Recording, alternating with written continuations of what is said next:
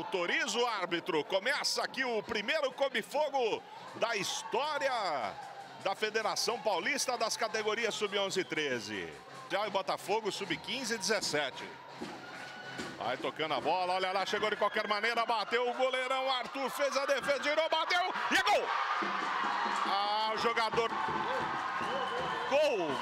Quando tínhamos jogados, 1 minuto e 40 de jogo, abriu o marcador numa confusão na área do Botafogo, o comercial abre o placar. Lá vai ele, camisa 10, o Rodrigo Arruda. Vai bem, chega bem, olha o Rodrigo Arruda, chegou, bateu, boa defesa do goleiro Luiz Felipe. Vai chuveirar a bola na área da, do goleiro Luiz Felipe.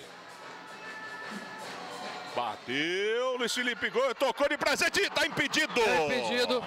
Tá impedido, pegou impedimento claro. O assistente número 1 um do camisa 6, a vida da equipe panterina. Tirou de qualquer maneira. Vem bola de novo na área. Goleiro dá ao contrário, que perigo! E ver todas as segundas-feiras os melhores comentários de Marcos Moraes, tudo o que está acontecendo.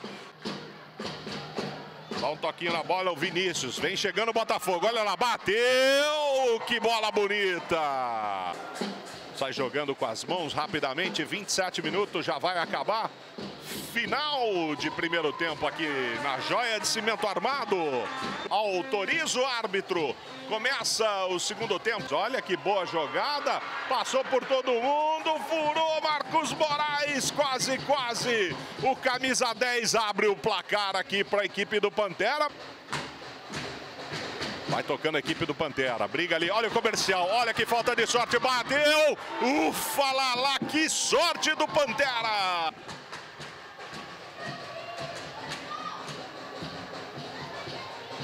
Bom domínio de bola do camisa 13, o Pedro. Bateu e é gol! É, do comercial!